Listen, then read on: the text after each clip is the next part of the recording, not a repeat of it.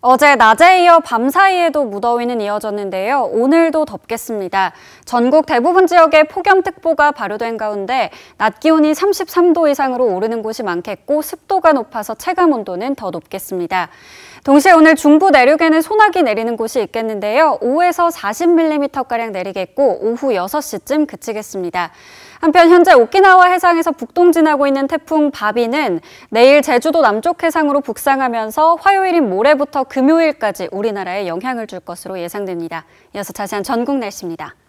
오늘 전국이 매우 더운 날씨를 보이는 가운데 강릉과 대구는 한낮에 34도까지 오르겠습니다. 서울의 낮 기온은 31도가 예상되고요.